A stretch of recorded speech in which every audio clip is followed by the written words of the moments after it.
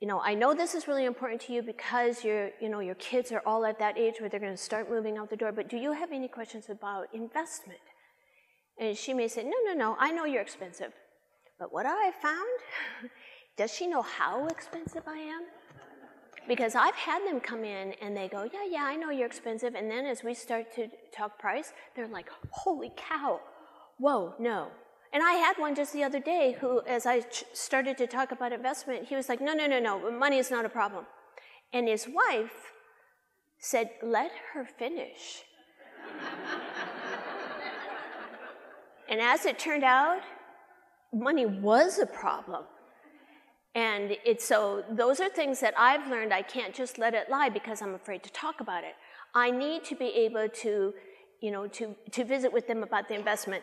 And it may be even as simple as saying, we have small collections which would have a small wall portrait, like a 16 by 20, with, you know, two or three um, gift sizes, which we consider to be, you know, 8 by 10 or under.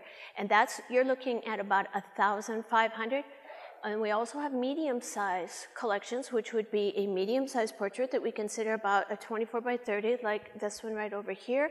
And then, you know, maybe more like seven or eight gift sizes, and you're looking at about 3,300.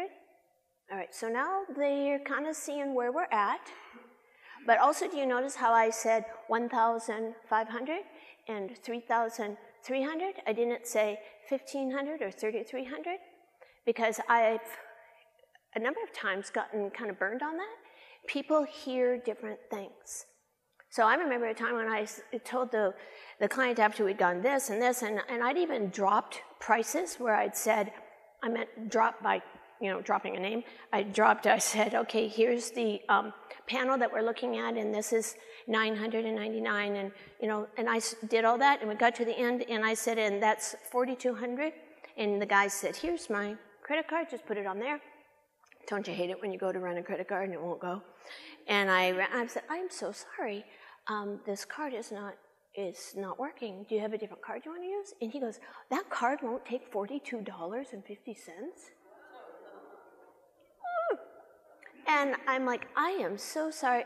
No kidding. He's like, I'm hyperventilating. I need to go outside. And I'm like, oh my gosh. Is, and I turn to his wife and I'm like, is he okay? She goes, he's fine. she goes, Here, use my card.